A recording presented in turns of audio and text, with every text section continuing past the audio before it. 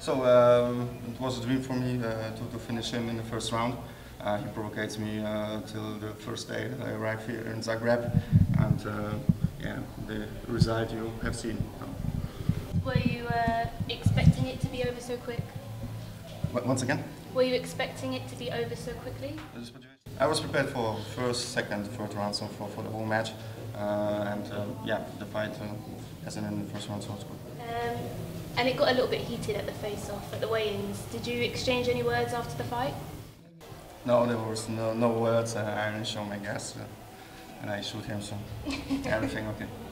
Uh, and what's next for you? How will you celebrate this win? A lot of cakes and no diet.